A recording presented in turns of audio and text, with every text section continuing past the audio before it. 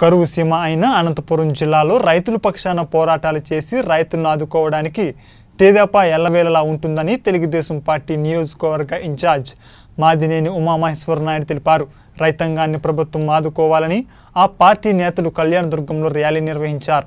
ఈ సందర్భంగా జిల్లాలో అతివృష్టి అనావృష్టి కారణాలతో తీవ్రంగా నష్టపోయిన రైతాంగాన్ని ప్రభుత్వం వెంటనే ఆదుకోవాలని బేమా పంట నష్టపరిహారం కల్పించాలని ప్లాకార్డులు ప్రదర్శిస్తూ ప్రభుత్వానికి వ్యతిరేకంగా నినాదాలు చేశారు. రెవెన్యూ కార్యాలయం ముందు బైఠాయించి ఆందోళన చేపట్టారు. అనంతరం స్థానిక తహసీల్దార్కు ప్రభుత్వ రైతులను వెంటనే ఆదుకోవాలని వినతి పత్రం అందించారు. ఈ సందర్భంగా ఉమా మాట్లాడుతూ రైతుల సమస్యల పట్ల పోరాటాలు చేయడానికి తెలుగుదేశం పార్టీ ఎల్లవెల్లా సిద్ధంగా ఉంటుందని ప్రభుత్వం వెంటనే స్పందించి పంట నష్టపరిహారం బీమా మొత్తాన్ని అందించడంతో పాటు బిందు తుంపర సేద్యం రాయితీలను వెంటనే అందించాలని డిమాండ్ చేశారు.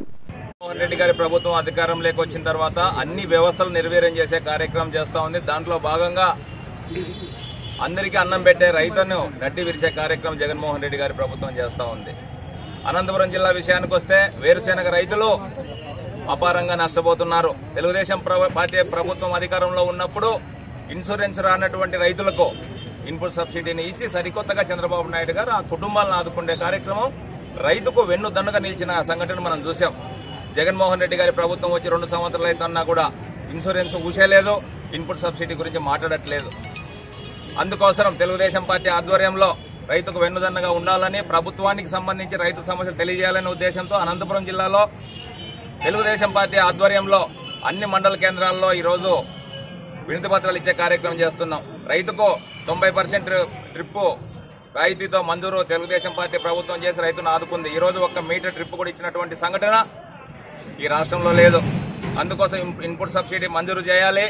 గడిచిన రెండు సంవత్సరాల నుంచి ఇన్పుట్ సబ్సిడీ మంజూరు చేయలేదు. తక్షణమే ఇన్పుట్ సబ్సిడీ మంజూరు చేసి రైతులను ఆదుకోవాలని చెప్పి తెలుగుదేశం పార్టీ తరఫున డిమాండ్ చేస్తున్నాం.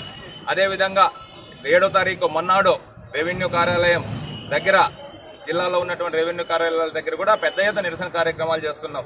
రైతుకు ప్రభుత్వం దిగి వచ్చి రైతుకు సహాయం చేసే వరకు తెలుగుదేశం పార్టీ ఆధ్వర్యంలో మేము ఆందోళన చేసి రైతు పక్షాన తెలుగుదేశం పార్టీ చంద్రబాబు నాయుడు గారి నాయకత్వంలో మేము ఉంటామని చెప్పి మరొకసారి సందర్భంగా తెలియజేస్తూ